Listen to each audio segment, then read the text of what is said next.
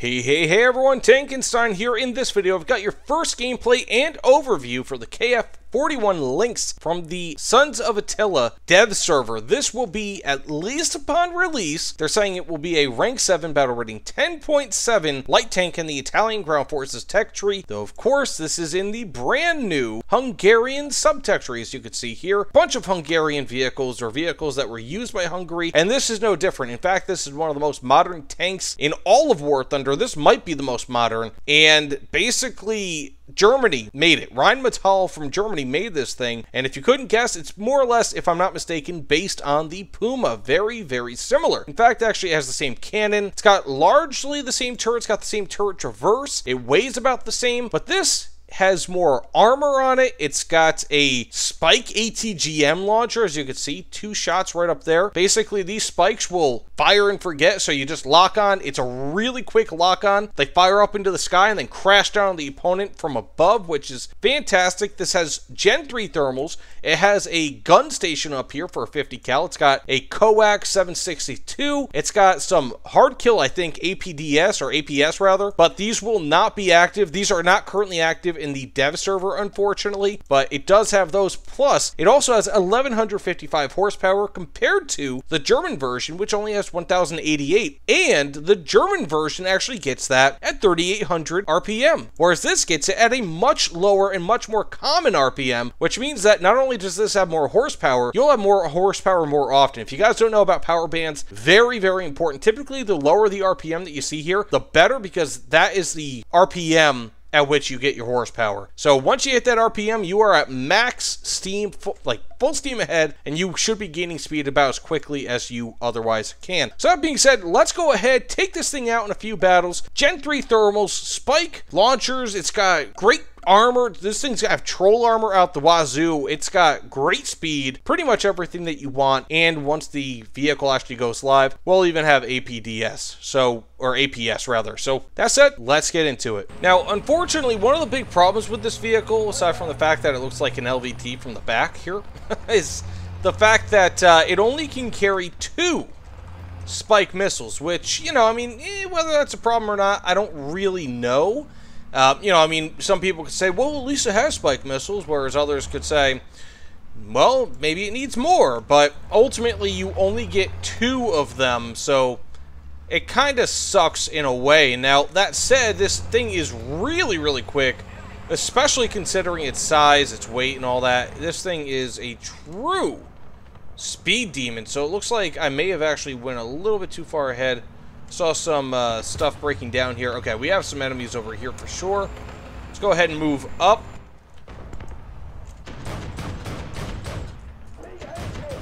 Okay, we have a T-80. Ooh, no damage. Can I hit him with a spike? Probably not. Okay, got a fuel tank and got the kill. Very nice. Also, I don't know if you guys saw that, but the ammo was a little bit, or the, uh, oh, wow.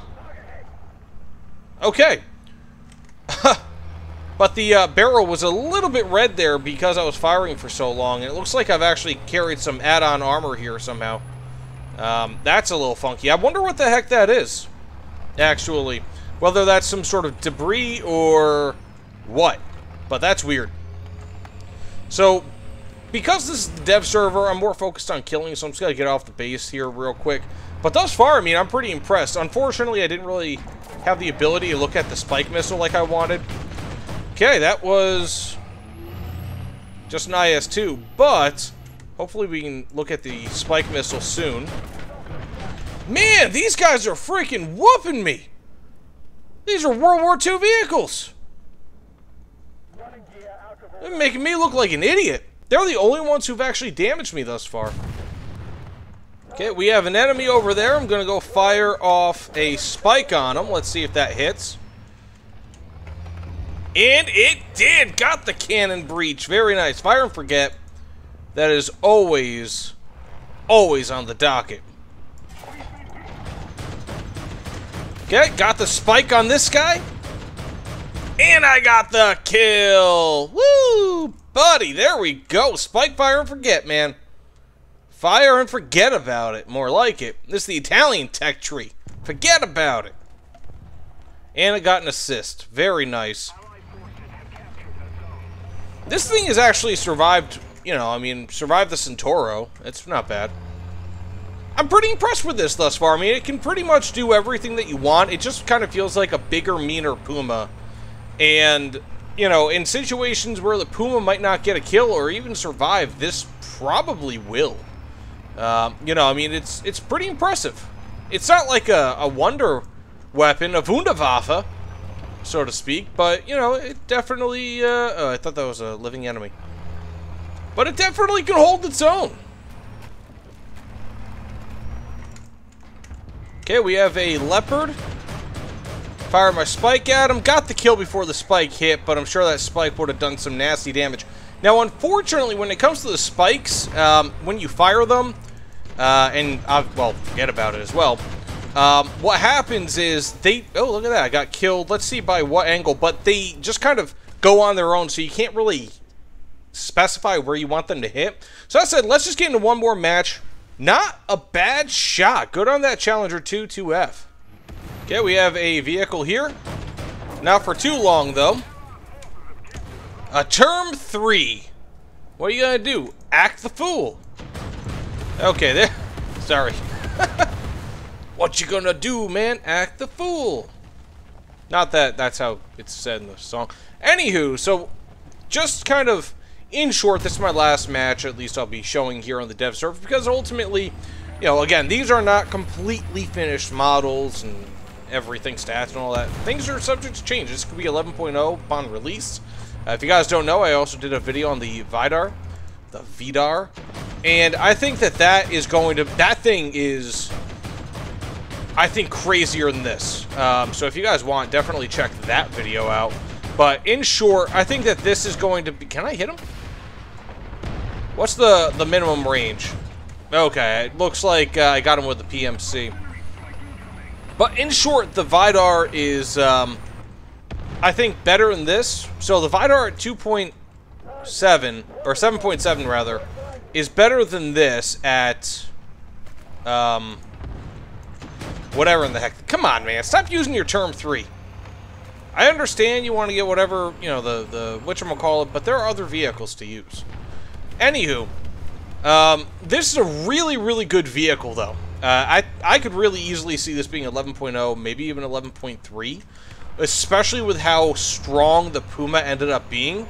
This is a bigger, better, faster Puma, which is just absurd. Okay, I didn't. I just want to make sure he wasn't, uh, you know, just on fire or something. But this is a bigger, better, faster Puma, essentially. This thing is pretty much just you know, it's it's a win. It's a win all the way through. I mean, it's it's really really good, uh, and that's really all that can be said about it. I mean, this even has tracking features where you can track aircraft, which is very nice. Okay, sounds like we have an enemy over here. Okay, there he is, and I got killed. However, that's the gunner and vertical gunner drive that I got for him. So I think that's going to be about it for this gameplay. I mean, as you can see, this thing can pretty much pen anything through the side, which is phenomenal.